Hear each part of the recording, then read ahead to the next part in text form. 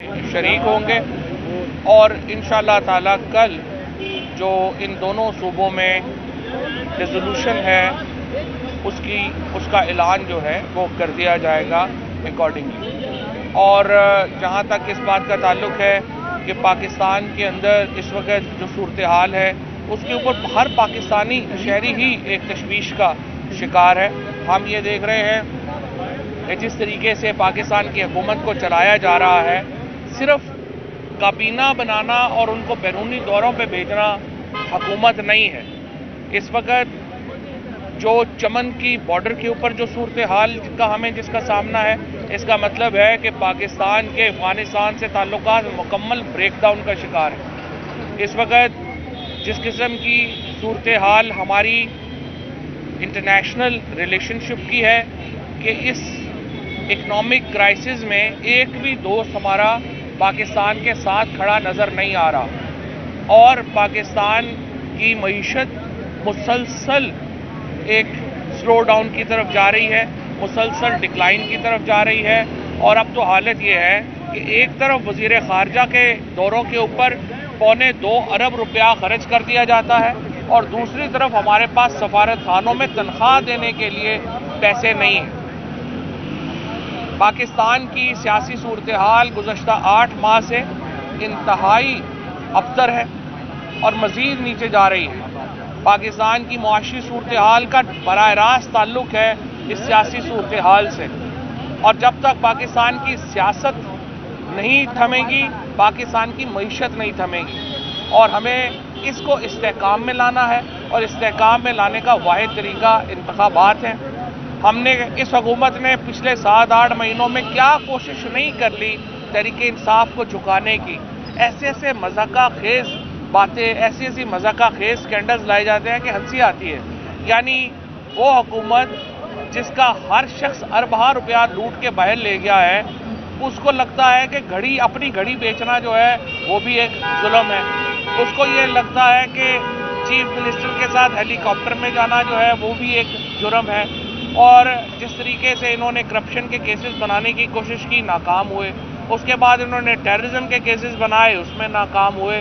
और अब इन ताला जिस तरीके से हम आगे बढ़ रहे हैं, हमें पूरी उम्मीद है कि जो यहाँ पे पाकिस्तान में ये जो डिजोल्यूशन का हमारा फैसला है, असम्बलियाँ तहलील करने का, इसके नतीजे में पाकिस्तान में सियासी प्रोसेस आगे बढ़ेगा, पाकिस्तान में इसकाम आएगा। इसके साथ साथ आज इमरान खान साहब ने वकला से मीटिंग मुकम्मल कर रही है। तहरीक इंसाफ ने जहाँ पे पहले ही हम नैब की अमेंडमेंट्स को, नैब की तरामीम को चैलेंज कर चुके हैं। हम जो एक्विटल्स हैं मरीम नवाज़ की और उसके बाद शहबाज और शहबाज शरीफ और हमजा शहबाज की, उनको हम चैलेंज करने जा रहे हैं सुप्रीम कोर्ट में।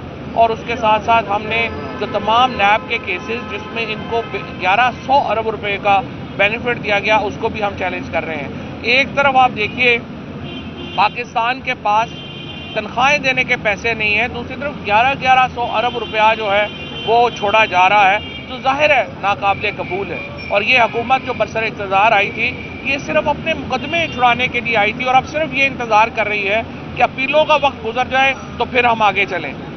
पाकिस्तान की मीशत ऐसे लोग नहीं चला सकते। हमने देखा है जो तमाशा लगा हुआ है, इस वक्त दो फाइनेंस मिनिस्टर्स के दरमियान इसहाक डार और मिफ्ता इसमाइल के दरमियान, आप रोज़ उनका तमाशा आपके सामने जो है वो आ रहा है। गैर संजीदा हुकूमत है नाअहल हुकूमत है और सवाए इसके कि बैरूनी दौरे कर लें और इनको कोई आता जाता नहीं है। बिजली की कीमतें गैस की कीमतें तेल की कीमतें आसमान पे बातें कर रही हैं। लो, लोगों का किचन चलाना मुश्किल हो गया है। लिहाजा इस सूरत हाल में इलेक्शन की तरफ़ बढ़ना ही वो वाद हल है जो और इन ताला कल से हम इस हल की तरफ़ बढ़ेंगे। मुसरत पहले बात करें बिस्मिल्लाहिर्रहमानिर्रहीम जैसा कि फवाद भाई ने बताया कि ये जो हकूमत है, जो इस वक्त के कलील मुद्दत के अंदर इन्होंने कोई 10 अरब से जायद के सैर सपाटे किए तो ये यहाँ पे बंदर बाँध के लिए इंजॉयमेंट के लिए आए हैं। पहले माशाल्लाह जो गुजरा है, मेरा ख्याल है कि ये सेंचुरी पूरी करना चाहते हैं। पहले कम थे कि आज एक और, वो जो एक नॉन सीरियस इनका जो तर्जुमान है, जो इनका मुंशी है, उसको भी इन्होंने फिर फेडरल मिनिस्टर का दर्जा दे दिया। देखें, यहाँ पे पाकिस्तान की आवाम बड़ी ज़िम्मेदारी के साथ, समझ के साथ, इनके तमाम जो अटैक है खान साहब के ऊपर, उसका जवाब दे रही है।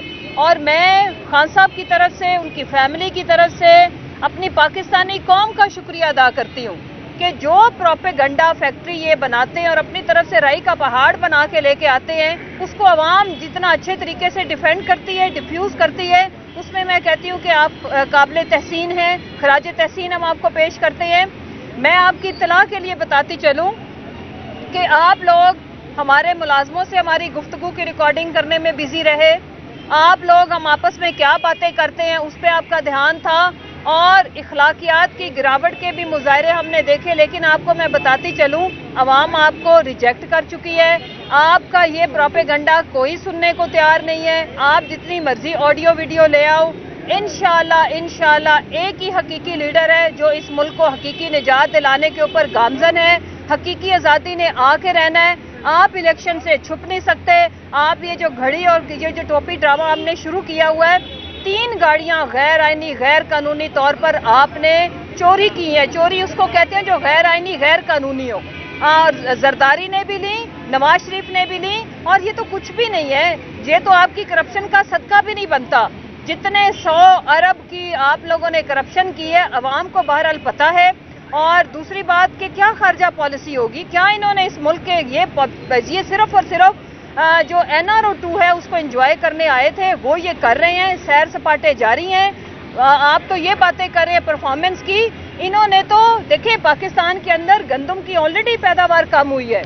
ये जो इस मुल्क का हमारा हक है, इस लोगों को जो हुकूमतें हैं, अपने लोगों को फ़ीड करना, ये तो हमारी गंदम भी इस वक्त स्मगलिंग माशाल्लाह जारी है जोरों शोर से। और जो मुल्क के अंदर पोल्ट्री के लिए जो फ़ीड आई, उसको इन्होंने वहाँ पे सुना है कि जो क्राइम मिनिस्टर है, जो चेरी ब्लॉसम है, वो उसके भी कंटेनर रिलीज़ करने के सोयाबीन के भी पैसे मांग रहे हैं। करप्शन रूज पे है, लेकिन ये इनके जवाल की निशानी है। क्योंकि ये इनका आखिरी मौका है, आखिरी मौके में ये जो जिसके हाथ में आ रहा है, वो कोशिश कर रहा है। लेकिन कल इंशाल्लाह चेयरमैन साहब बड़े अहम फैसलों से आगाह करेंगे कौम को। कल पाकिस्तान के रोशन मुस्तबिल का, हकीकी आज़ादी का अगला सियासी लाया अमल देंगे। क्योंकि ये सिर्फ़ अनाउंसमेंट नहीं है, उसमें इंशाल्लाह फवाद भाई फिर बाद में बताएँगे आपको कि कल हमारी अगली मूवमेंट जो इलेक्शन डे तक जारी रहेगी उसकी भी शुरुआत है इंशाल्लाह। ऑडियो एक आई है ऑडियो आई है कुछ देर पहले उसमें मुबैना तौर पे जो है बुशरा बीबी के वाले से बातचीत जो कर रही है वो। तो क्या समझते हैं आप कौन से इदारे हैं ये जो ऑडियो वगैरह भी, भी रिलीज़ कर रहे हैं? इस वाले से बताइए। देखिए पहली बात तो ये है कि ये जो ऑडियोज आई हैं मेरे ख्याल में तो किसी भी घर में अगर आपकी किसी अब आप, आपकी अपनी बेगम के साथ ऑडियो पब्लिक कर दी जाए हाँ। आपकी अपने घर वालों के साथ गुफ्तु पब्लिक की जाएगी वो अजीब ही लगेगा मुलाजमों के साथ बातचीत अजीब ही लगेगा जिसका कोई कॉन्टेक्स्ट नहीं है जिसका कोई सर नहीं है पैर नहीं है तो ज़्यादातर जो अभी हो रहा है वो ये हो रहा है मैं आपको बता रहा हूँ। मुख्तलिफ़ ऑडियोज़ यहाँ पे रिकॉर्ड की गई उसके बाद उन ऑडियोज़ को आपस में जोड़ा गया। और वो कॉपी पेस्ट करके ये साकिब निसार साहब की सबसे पहले ऑडियो आई थी